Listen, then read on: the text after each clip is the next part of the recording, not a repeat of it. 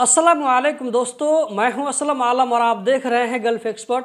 दोस्तों, पहले आप इस कमेंट को देखें उसके बाद में अपनी बात को रखूँगा। यहाँ पर आप लोगों को स्क्रीन पर एक कमेंट नज़र आ रहा होगा। आप चाहें तो इस वीडियो को पॉज करके पढ़ सकते हैं। इसमें इस भाई ने कहा है कि आज मैंने सुबह सुबह एक डिलीवरी बॉय के बाइक को एक्सीडेंट होते हुए देखा। इस भाई ने मुझसे रिक्वेस्ट किया है कि इसके ऊपर में एक वीडियो बना करके डिलीवरी बॉय को बाखबर करें। वो लोग कतर में अच्छे से गाड़ी चलाएँ, सावधानी से गाड़ी चलाएँ। इस भाई का आगे ये भी कहना है कि जब उस डिलीवरी बॉय जो कि बाइक चला रहा था उसका एक्सीडेंट हुआ तो तीन चार पुलिस की गाड़ी भी वहाँ पर आ गई। दोस्तों, आप इससे अंदाज़ा लगा सकते हैं कि एक्सीडेंट कोई छोटा मोटा नहीं हुआ होगा। इस भाई का आगे ये भी कहना है कि पता नहीं वो भाई बच पाया होगा या ये कि नहीं बच पाया होगा।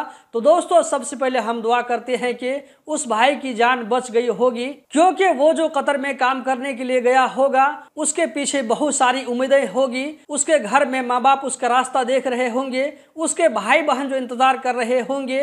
हम दुआ करते हैं कि इन लोगों की उम्मीद न टूटे, बल्कि बरकरार रहे। दोस्तों, यहाँ पर मैं कहना चाहूँगा कि आप लोगों के हक में, चाहे वो एक मामूली कमेंट क्यों न हो, अगर वो आपके हक में बेहतर होता है तो मेरी कोशिश होती है कि उसके ऊपर मैं वीडियो बनाऊँ। इस वीडियो को एंड करने से पहले पहले आप लोगों से रिक्वेस्ट करना चाहूँगा कि वीडियो को ज़्यादा से ज़्यादा शेयर करें। और कतर में जो लोग डिलीवरी बॉय काम करते हैं चाहे वो मोटरसाइकिल के ज़रिए हो या ये कि गाड़ी के ज़रिए हो, ट्रैफ़िक डिपार्टमेंट की तरफ़ से जो भी गाइडलाइन जारी किए गए हैं, उसको आप फॉलो करें। उसको फॉलो करने में आपका क्या है कि आप भी सेफ़ रह सकते हैं।